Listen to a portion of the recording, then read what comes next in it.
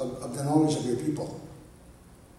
And you recite that song, and everything is good. One morning you wake up and 85 of them are gone. What do you do? 15% left. What you do is you scramble around, you try to remember, you travel to different places and hear other people's interpretations. Some of them have new uh, words for you. So that's what the process we're doing right now.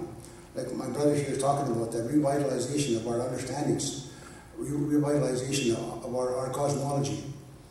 We're, we're, we're, in a process right now of uh, going around, of uh, retracing our methodologies, of relocating that, that knowledge that's gone to sleep. Because the elder told me, don't be discouraged because that 85% is not lost, it's dormant, it's sleeping. The way that knowledge was gained was gained through ceremony. The way that knowledge was gained was gained through, through vision questing, was gained through dreaming, was gained, was gained through traveling, was gained through meeting new people and looking at new perspectives, was, was gained through traveling and seeing new things. It was, gained through dreaming. Those things is how we gain our knowledge. And we still do those things. And all the basis of that is the language.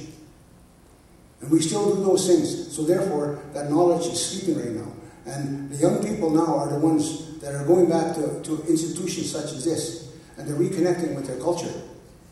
Because where I'm from, our young people aren't getting our culture under reserves because of the influence of the, uh, the churches and the colonization. They, they think uh, our, our understandings, our, our uh, history is full of superstition, full of bad medicine, full of everything bad. So the kids leave those reserves and they come to the cities, urban areas, and they reconnect to their culture through education and through places such as this where they reconnect to their, their history.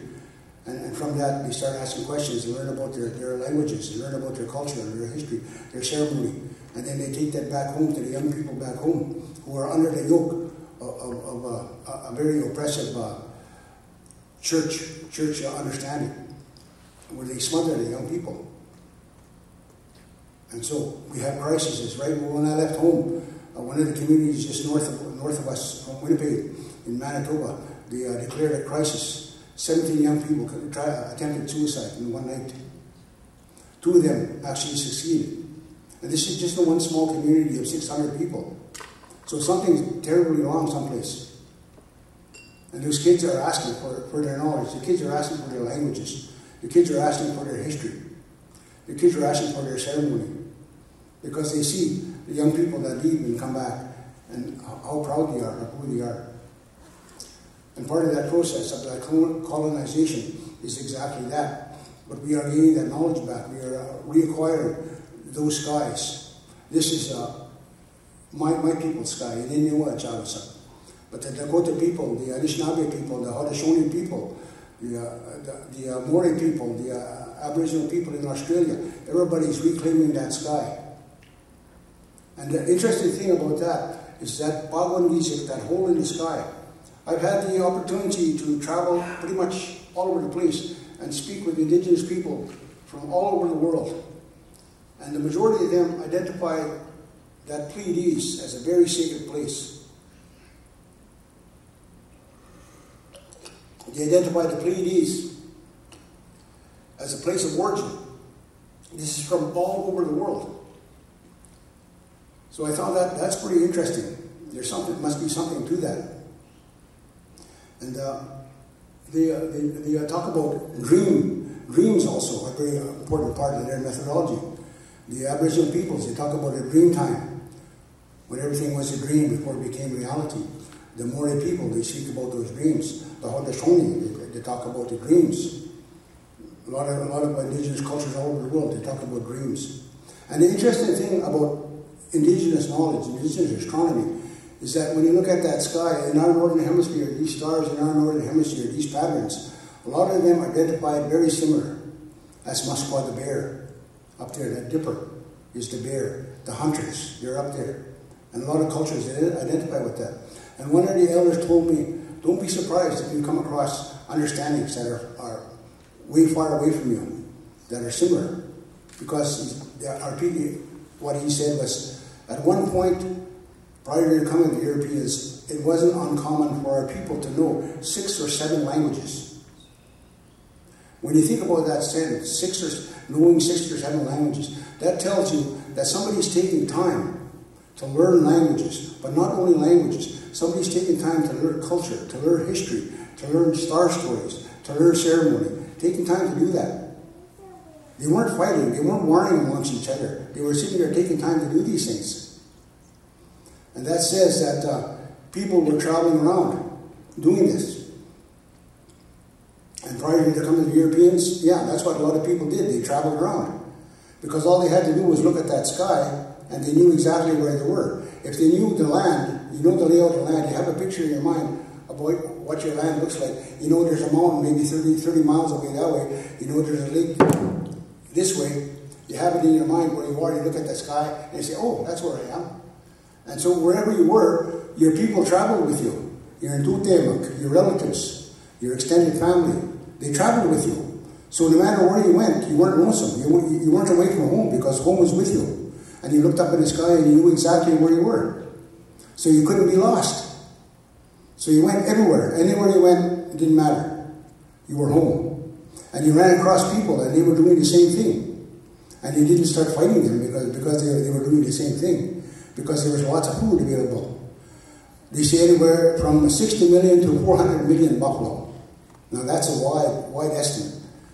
That's how many buffalo were here. But, but what they don't say is that there were that many elk, that many deer, that many bears, that many wolves. Those things, those things, there was a mass extinction that took place in order to, to tame our people.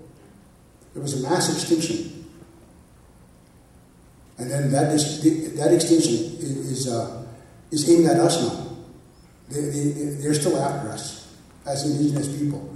Every little policy that's made by, by the government, it, its main idea is to get rid of us. So there's a genocide that's still happening. I tell these young people, I tell the young people this, there's a genocide that's happening, though a lot of people don't want to hear it. There's a genocide that's happening still. And it, it can't be whitewashed. It's got to be shown. You, you, look at all these graves that are, that are being found. Where's the big outcry on this? Why? You know, thousands, thousands of young of children, graves that are covered. And everybody says, oh, oh well. So there's something, something happening someplace. So the reconnecting to our, our, our understandings, reconnecting to our cosmology, reconnecting to our epistemology, reconnecting to our methodology, reconnecting to all these things brings back who we are as as as as. I was in uh, a place called Kananaskis outside of Calgary last month in uh, mid-September. And uh, I had the opportunity to speak at a, at, a, at a, star gathering. It was an indigenous star, star gathering. And there was a, a Blackfoot astronomer, astrophysicist by the name of Robert Cardinal. And uh, he uh, discovered about three comets that are up there with his name lying around. And he talked about that to the youth and his process of how, how he got to be what he was doing. And then we had a, an elder from, uh, he's Yaqui from southwestern states. And again, he spoke about the stars from his people's perspective. And he works with NASA, he's an astrophysicist. And he talked about this indigenous knowledge of, their, of his people. And then we had Anishinaabe. And again, he spoke about the knowledge of his people, about that we, we looked at the Big Dipper, and each one of us, when we spoke up there, there was five of us that spoke, and we all picked the Big Dipper uh, as a point of reference. And each one of us spoke from uh, our, our own particular perspective. So the audience got to experience five different cultures from uh in that in that span of time that they were sitting there looking at that sky. And that is is is a, is a, is a phenomenon that's that's hasn't been seen for quite a long time. And the young people were there; they came in droves. We had sweat lodges available, and they filled those sweat lodges. We had 14 sweat lodges in three days, and they were packed full of young people.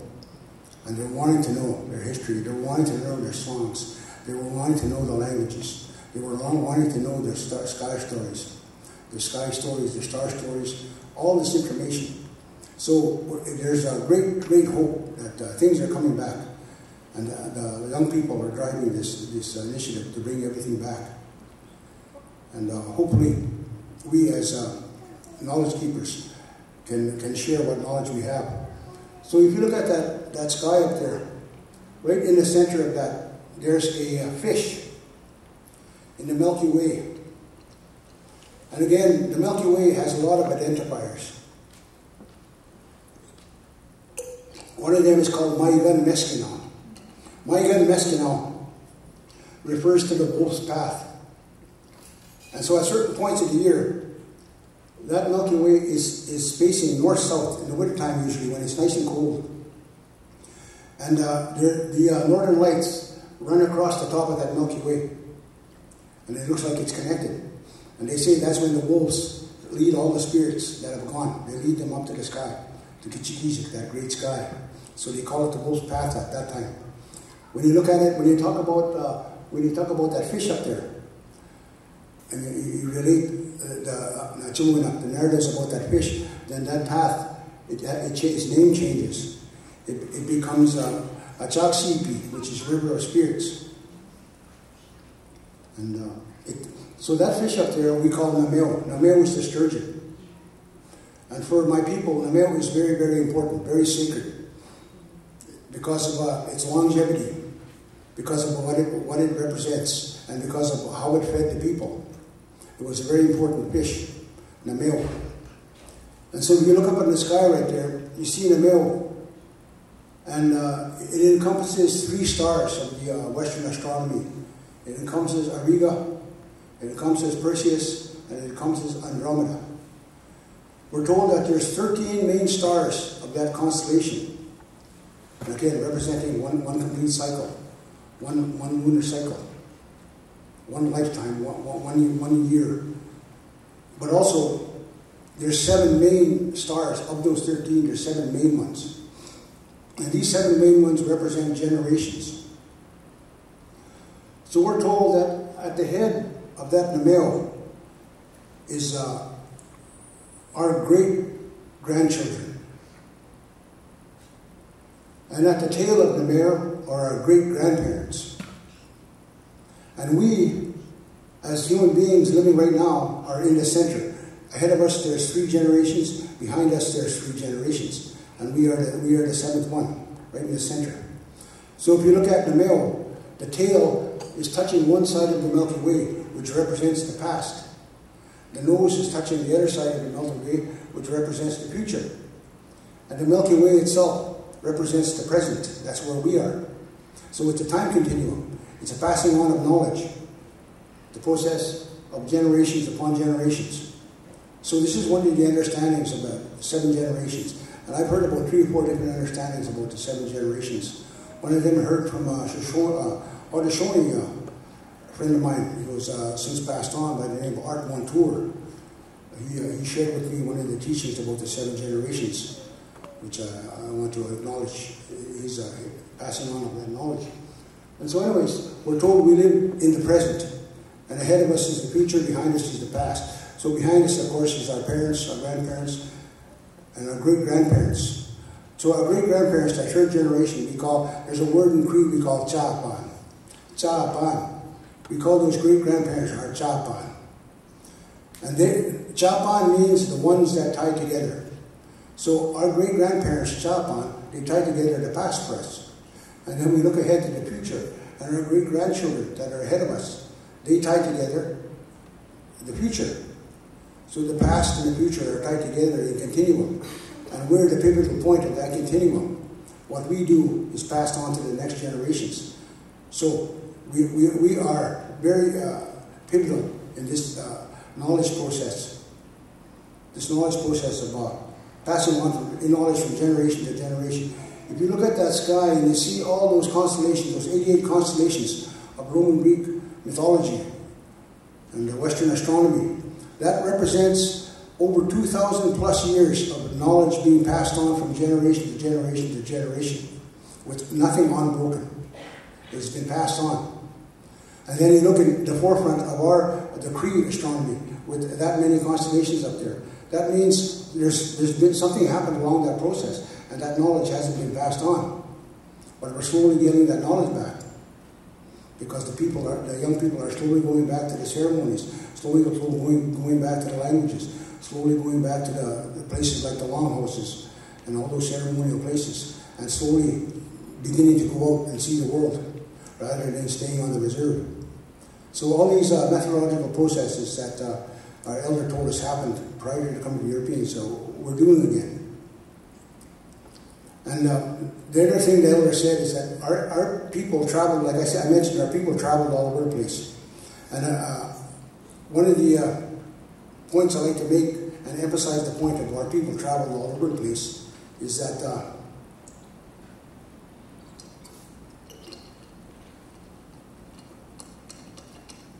there was trade routes, north, south, east, west. North America, Central America, South America, trade routes. So trade goods went everywhere. The example I use is up in the Opaskwayak Cree Nation on the banks of the Saskatchewan River in mid-Manitoba, up in Canada. There's uh, they were digging digging uh, basements.